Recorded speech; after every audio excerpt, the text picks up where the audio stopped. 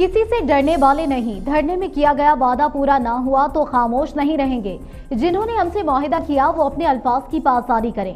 فضل الرحمان نے اتحادی اپوزیشن کو خبردار کر دیا۔ کہتے ہیں، وعدہ پورا نہ ہوا تو حکومت کے جانے کا کہنے والوں کا نام سامنے لے آئیں گے۔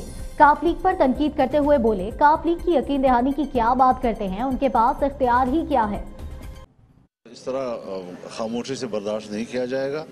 جنہوں نے ہم سے معاہدہ کیا ہے، میں آج ان کو کہنا چاہتا ہوں کہ وہ اپنے لفظ کی پاس رکھیں، ورنہ پھر ہم چند عرصے کے بعد اس کو بھی واشگاف کر دیں گے کہ یہ صورتحال نہیں ہونی چاہیے۔ صاف لیگ کی یقین دہانی میں بتا دوں، ان کے پاس اختیار کیا ہے بیچاروں کے پاس۔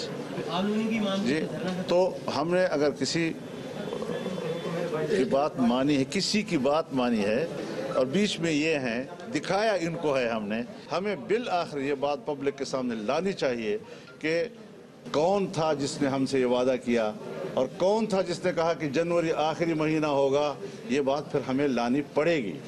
اللہ خیر کرے انشاءاللہ۔